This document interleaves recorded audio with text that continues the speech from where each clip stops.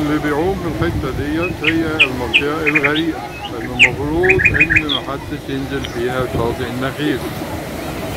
النهارده 28 8 2022 الحكومة كان المفروض هنا.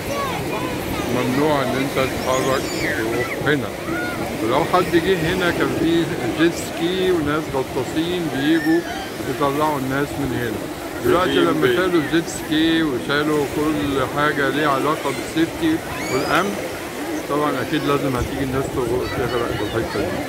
فدي مش مسؤولية أصحاب النخيل مسؤولية اللي أمر بإغلاق الشاطئ وشيل جميع أنواع السيفتي والأمان والضمان في المنطقة دي. وطبعا إحنا ملناش دعوة أصلا بإن هو يقفل الشاطئ منه لنفسه كده بدون أي انذار أو أي نقاش.